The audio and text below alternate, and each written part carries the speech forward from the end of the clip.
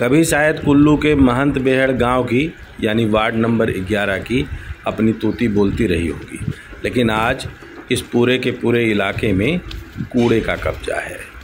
मोदी जी की साफ़ सफ़ाई अभियान को तो ना जाने कब का यह ठेका दिखा चुका है, अब सुख देने वाली सरकार आई है, तब भी यह कूड़ेदान ही बना है।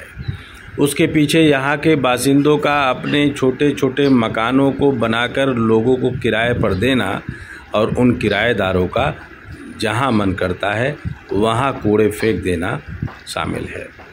इनकी इस आदत से ना तो नगर निगम को कोई चिंता है, ना तो साफ़ सफ़ाई करने वाले किसी महकमे को।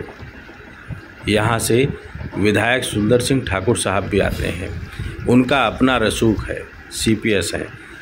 भाँग की खेती से लेके सभी विकास के काम को बड़ी तरजीह से वो करने में लगे हैं।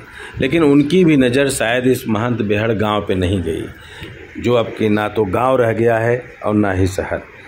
और यहाँ के लोगों के लिए शर्मिंदगी बनते इन कूड़ों को देखकर शायद हर कोई यह सोचेगा कि यहाँ रिहाइश करने वाले लोग आखिर देव संस्कृति की कौन सी भाषा समझते हैं?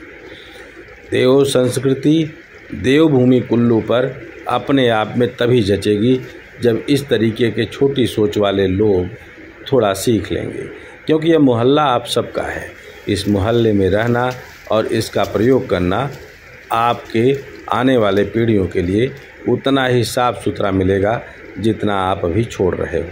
हमारे साथी राहुल महंत ने कोशिश की कि इस पूरे के पूरे मामले को साफ़ सुथरे तरीके से आपको दिखा सकें, क्योंकि गंदगी की सफ़ाई करने वाली एजेंसियाँ तो अभी मलाई काटने में मस्त हैं।